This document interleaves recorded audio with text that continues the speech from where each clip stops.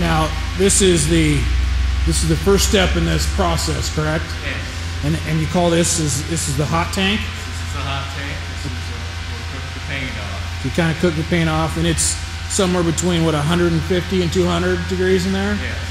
Okay, and then and how long does the how long does the body sit in there? The body will be in there for two days. Averages about two days. Okay, so let's uh, let's see you put it in there.